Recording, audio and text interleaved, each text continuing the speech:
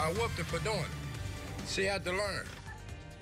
Now at 11, a seven-year-old girl is caught on camera attacking her best friend. Tonight, her father is talking and saying he's not tolerating this violent behavior. Good evening and thanks for joining us. I'm Wendy Ryan. And I'm Brendan McLaughlin. The fight video made its way onto Facebook and now Tampa police are investigating. Our Jacqueline Ingles joins us now with the latest. Jacqueline? Right now, this video is making its way around Facebook, and that's how a random woman in Atlanta saw it, recognized that apartment complex, and then tipped off Tampa police.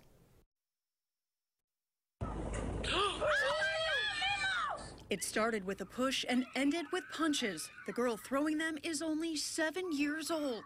We've intentionally blurred the girls' faces to protect their identities. I didn't like the video.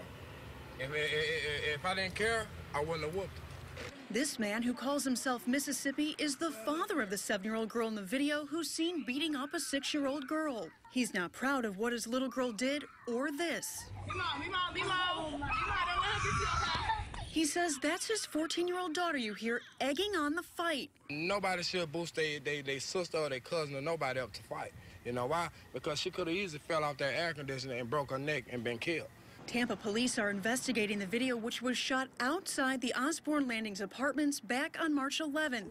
Police don't know who posted the video to Facebook, but they're trying to get it removed from the site. This video is no doubt it's it's outrageous and very upsetting to watch. Mississippi says he was at work when it happened, and the fight came as a surprise since the two little girls were best friends. I like the little girl. I love my child. I love her too.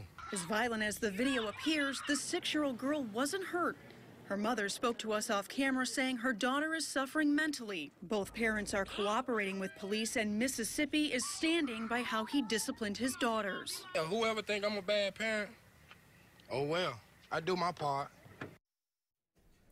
Now, the parents won't be charged, but police are working with the state's attorney to see if they can charge that 14-year-old with contributing to the delinquency of a minor. Wendy?